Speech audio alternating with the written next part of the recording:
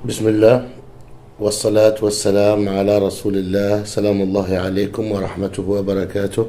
إخواني وأحبتي في الله أينما كنتم فيديو جديد مفيد بطبيعة الحال للقلة القليلة التي تعرف ما آه، يعني قيمة المحتوى الذي نقدمه وما نفيد به الناس بإذن الله تعالى.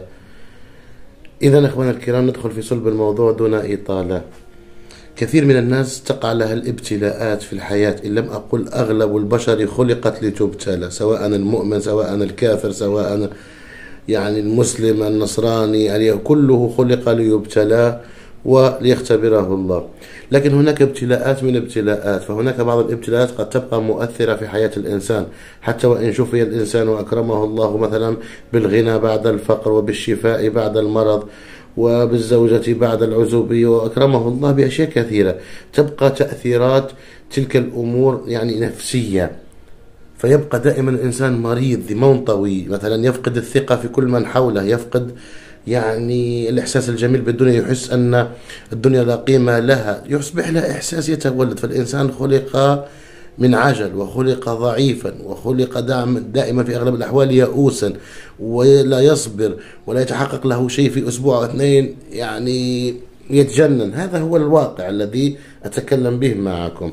اذا الطريقة سهله ومن سيدخل ويقول لي أنها أعطيني دليل وكذا سأعطيك الدليل في آخر الفيديو إن شاء الله لأني لا أتكلم من وحي خيال ولا أتكلم بما تأتي به الدجالين والنصابين الذين ينصبون على الناس ويأخذون أموالهم بالباطل. بل أتكلم بكتاب الله وهي أشياء من السنن منسية وأشياء أمرنا بها صحابة رسول الله ورسوله الكريم ونقلوها. لكن للأسف أعداء الله لا يريدون أن تصل إليكم في زمننا فنحاول أن نوصلها إليكم إن شاء الله.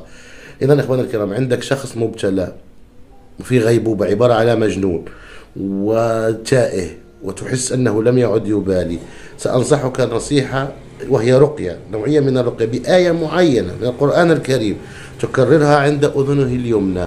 سبع مرات ثلاث مرات خمس مرات أنت ونيتك وأنت وثقتك بالله يشفى بإذن الله. أعوذ بالله من الشيطان الرجيم. بسم الله الرحمن الرحيم. أفحسبتم أنما خلقناكم عبثا وأنكم إلينا لا ترجعون. إلى آخر السورة في سورة المؤمنين. كررها على أي شخص مبتلى وترى عجبا بإذن الله. تقول لي أعطينا الدليل. الدليل أخي الكريم موجود. ها هي كتب نادرة ليس لها قيمة. ربما تراها مرمية في السوق لا تشتريها. هذه النسخة مطبوعة في مصر. لم يعد لها أثر. يعني اندثرت. كتب كثيرة اندثرت. لماذا لا نعرف أو نعرف الأسباب ونخفيها ونريد أن نقول الحق. لأنهم لا يريدون لك علو ولا يريدون لك علما لا يريدون لك شفاء. يريدونك وليا للشيطان يريدون أن يدخلوك جهنم معهم. فهنا أخواني الكرام هذه الكتب حاولت أن أحصل على بعض منها واحد أو اثنين. كل مرة هكذا أجده في السوق أو كذا لأفيدكم وأستفيد أنا منه أيضا إن شاء الله. طبقوها على من هو أو على من ابتلي ابتلاء شديد ترون له شفاء بإذن الله تعالى. دمتم في رعاية الله. السلام عليكم ورحمة الله وبركاته.